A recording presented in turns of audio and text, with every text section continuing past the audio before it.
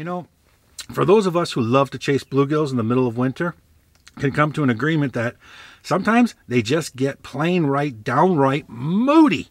So moody that they're literally lethargic like, and it doesn't matter what we do, they're just not going to feed. I'm in the middle of winter here, the dead of winter, all the weeds have died off, pretty much. There may be a little carpet here and there, but I'm actually fishing a back bay here and it's featureless, literally featureless. It's a huge basin of absolute nothingness. It's kind of like fishing for perch and Simcoe. They're going to come in pods. Same thing here. The bluegill are they're roaming, they're moving around, but they're just not staging up anywhere.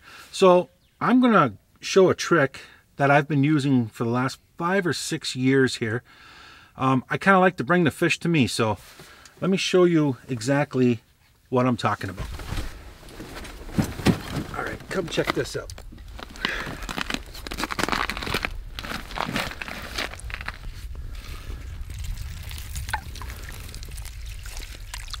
How about that? I like to make my own structure.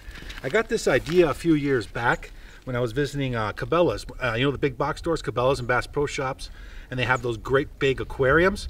That's where I got my idea. So I did some research and found where they uh, got their weeds from, and now I make my own structure and I get to take it home with me.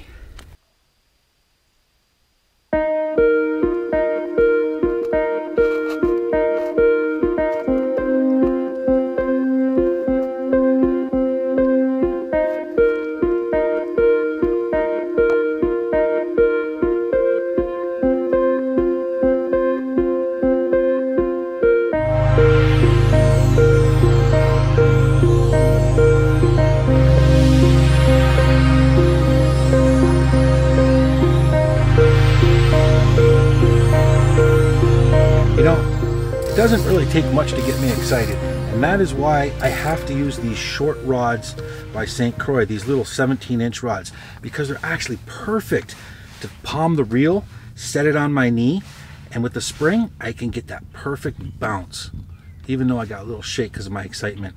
What's really cool about the St. Croix rods is their tip here because it can harness multiple different strengths of spring indicators.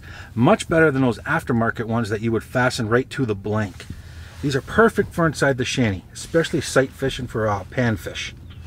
You know, a lot of times I much prefer using spikes over waxworms simply because spikes are a lot more tougher skinned and they last a lot longer and they stay alive. Much more better much better than the waxworm the waxworms are very paper thin and most of the time you have to take that waxworm and you have to thread it on the hook. Look at that how could a bluegill not want to munch down on that baby?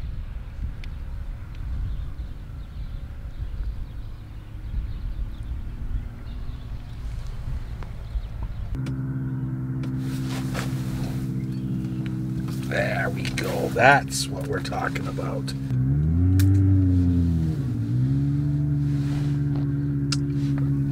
we go. I'm contributing to the family meal. Women and fish you could never catch.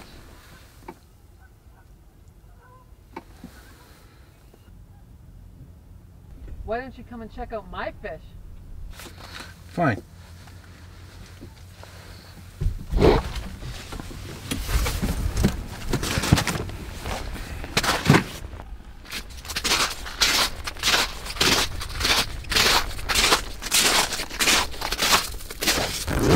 Where's all these fish you're yakking about?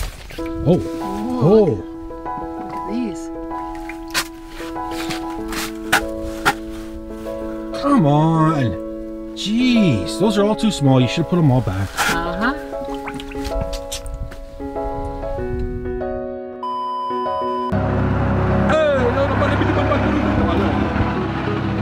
What's the matter for you? You're scared of the fish? Oh!